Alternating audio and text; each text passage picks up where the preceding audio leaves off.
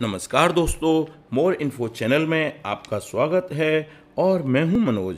दोस्तों, आज हम इस वीडियो में गुलमर्ग के बारे में बात करेंगे।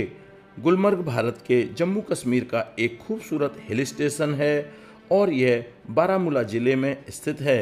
इस शहर का पुराना नाम गौरीमर्ग हुआ करता था, जिसे 16वीं शताब्दी में यूसुफ शाह चक ने बदलकर गुलमर्ग कर दिया था।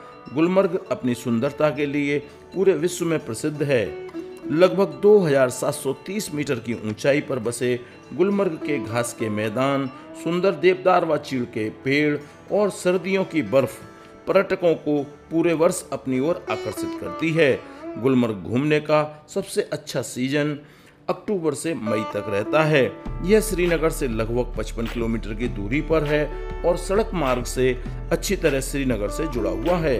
श्रीनगर वायु मार्ग से पहुंचकर गुलमर्ग सड़क मार्ग से आसानी से पहुँचा जा सकता है। यहाँ का निकटतम रेलवे स्टेशन जम्मू तवी व उधमपुर है। यहाँ रुकने के अच्छे होटल उपलब्ध हैं।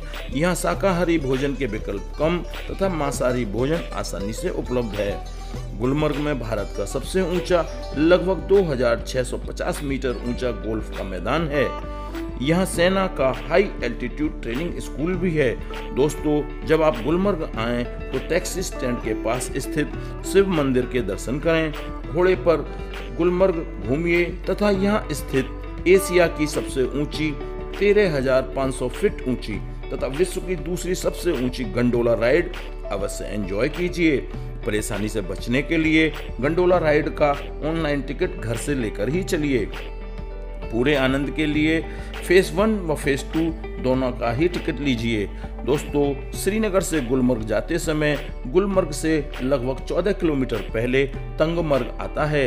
यह छोटा सा बाज़ार है तथा अपेक्षाकृत कम कीमत पर यहाँ होटल मिल जाते हैं। आप यहाँ से घर ले जाने के लिए हस्तशिल्प की वस्तुएँ भी खरीद सकते हैं। दोस्तों, आशा करता हूँ ये वीडियो आपको पसंद आई होगी। कृपया से लाइक कीजिए, शेयर कीजिए तथा इस चैनल को सब्सक्राइब कीजिए। Thanks for watching.